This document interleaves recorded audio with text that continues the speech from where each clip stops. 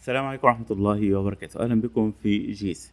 JACE مش مجرد شات ذكاء صناعي لا ده ممكن يعمل لك حاجات كتير جدا. زي مثلا ممكن تقول له إيه أنا عايز أروح رحلة وأعدي على أماكن. هو بقى يبدأ يحجز لك في الفنادق ويحجز لك في الطيران ويعمل لك كل حاجة.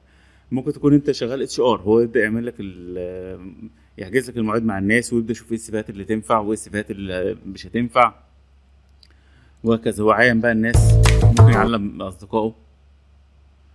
تمام؟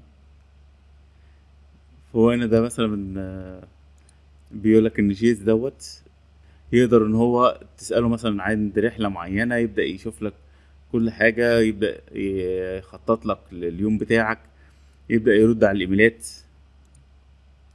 ممكن يكون في كمية كبيرة جدا من الإيميلات أو من الوظائف يبدأ إن هو يتعامل معاها.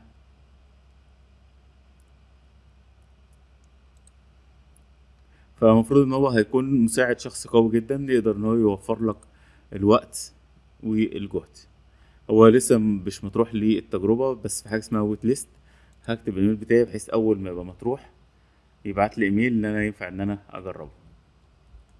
عشان تكون أول واحد جربت التطبيق دوت.